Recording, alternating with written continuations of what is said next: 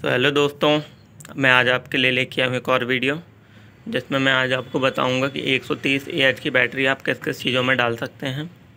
तो चलिए वीडियो को स्टार्ट करते हैं। जैसे कि मेरे सामने रखी हुई है Amaron heavy duty highway series की जो बैटरी होती है, इसमें दो साल की टोटल वारंटी अगर दो साल में कुछ भी प्रॉब्लम आ रही है तो जो चौबीस घंटे में रिप्लेस हो जाती है।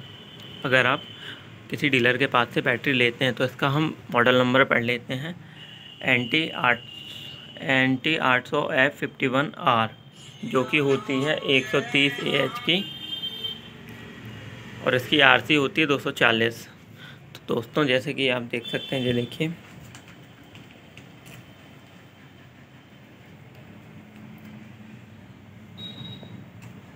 जिसका बैक है।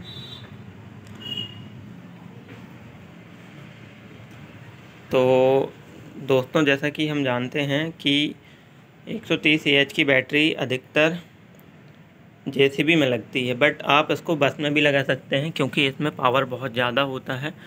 ट्रकों में आप लगा सकते हैं। चल के और भी आती हैं, जैसे कि चैन वाली जो मशीनें होती हैं, उनमें भी आप जैसे भी कि जो बैटरी डाल सकते हैं। हाईवे में सबसे ज़्यादा जो हाईवा होता है ट्रक उसमें अधिकतर के जी बैटरी लगती हैं बट किसी को डेढ़ सौ एच की चाहिए होती है तो वो भी लग जाती है। हमारे पास डेढ़ सौ एच की भी बैटरी रखी है।